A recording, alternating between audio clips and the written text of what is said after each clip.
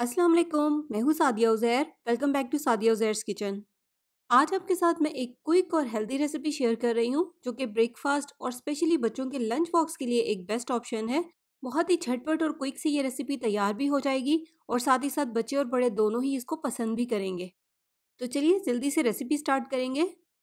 बिसमीम तो यहाँ पर हम वाइट ब्रेड स्लाइसिस लेंगे।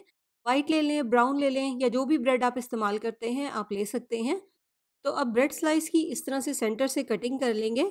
इस रेसिपी के लिए हमें तीन से चार ब्रेड स्लाइसिस की ज़रूरत होगी। यहाँ पर इंग्रेडिएंट्स की जो क्वांटिटी मैं आपके साथ शेयर कर रही हूँ, उसमें तीन से चार ब्रेड स्लाइसिस इजीली तैयार हो जाएँगे। तो ये देखें, सेम इसी तरह से हमें जितने भी ब्रेड स्लाइसिस की ज़रूरत है, उन सभी की हम इसी तरह से कटिंग करेंगे।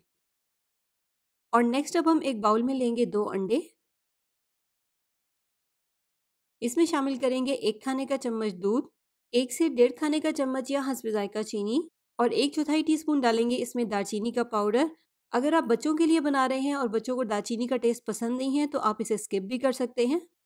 तो बस अब इस तरह से सारी चीज़ों को अंडों के साथ बहुत अच्छे से फेंट लेंगे। और नेक्स्ट अब कुकिंग स्टार्ट करेंगे। इस तरह से थोड़ा सा ऑयल तवे पर या फ्राइंग पैन पर डालेंगे। ऑयल की जगह पर आप चाहें तो मक्खन या घी का इस्तेमाल भी कर सकते हैं, जो भी आप इस्तेमाल करते हैं। अब सबसे पहले तवे पर इस तरह से ब्रेड का ये किनारा रखेंगे, जिसकी हमने कटिंग की थी, और जो सेंटर में जगह खाली है, इसमें इस तरह से केले के ये स्लाइसिस रखेंगे।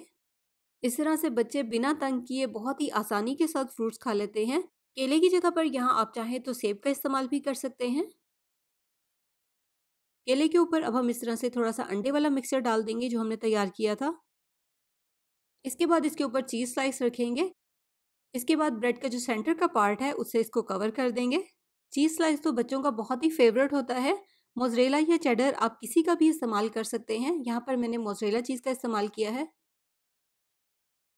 ये देखिए कितना अच्छा सा इसके ऊपर गोल्डन कलर आ गया है। अब दूसरी साइड से भी तवे पर हल्का सा ऑयल लगाते हुए इसको गोल्डन होने तक पका लेंगे। तो लीजिए, झटपट से एक बहुत ही हेल्दी और मज़ेदार सा ब्रेकफास्ट तैयार है, जो कि यकीनन सभी को बहुत पसंद आएगा। इसलिए आपने इसको ज़रूर ट्राई करना है। ट्राई करें तो अपना फीडबैक कमेंट सेक्शन में ज़रूर मेरे साथ शेयर कीजिएगा।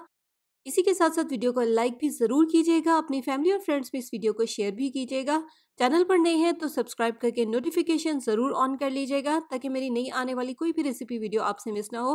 अपना बहुत सा ख्याल रखिएगा दुआ में याद रखिएगा। Thank you for watching. अल्लाह हाफिज़।